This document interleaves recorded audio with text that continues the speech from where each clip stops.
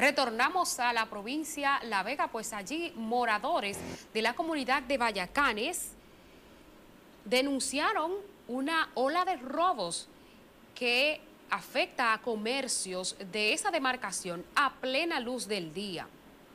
En conversación con nuestro colaborador en la zona, el reportero Miguel Valdés, dijeron que presumen se trata de delincuentes de la zona, por lo que hacen un llamado a la Policía Nacional para que arrecie con el patrullaje en la zona. Escuchemos lo que dijeron a Miguel Valdés, los comerciantes que dicen están en zozobra con estos delincuentes.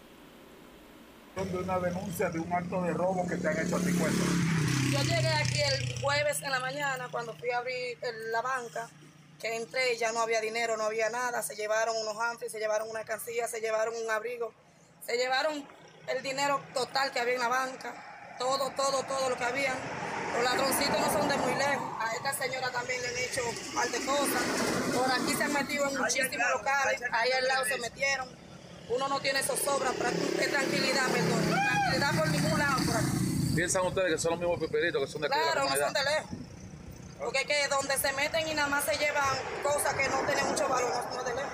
Nada más faltaba que se llevaran la torta allá. Muchachos, no nos han llevado a nosotros porque no nos hemos puesto fácil. Ah, ¿Cómo fue? ¿Qué hace con la cerveza que usted vende? Me llevar para la casa. ¿Por qué? Pues usted está en un establecimiento. Me llevan los refrescos, todo. Yo caigo todo de aquí. Todo. ¿Usted teme entonces que se lleven la cerveza, estos piperos? Sí, la, la, la, cerveza y los refrescos. Ok. Dígame.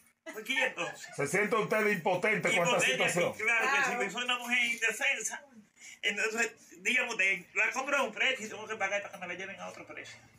¿Su, ¿Su, nombre? Mi nombre es Turca Capillán. Dios lo bendiga. Cuéntanos también que tú has sido víctima de robo aquí en Vallecán. Niño, ¿sabes? Bueno, yo lo único que le pido es que nos ayuden aquí porque ya no tenemos tranquilidad.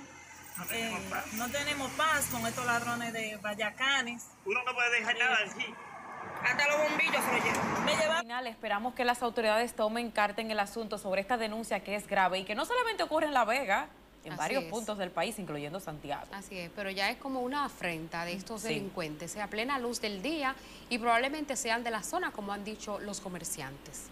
Así es que ahí está sobre la mesa.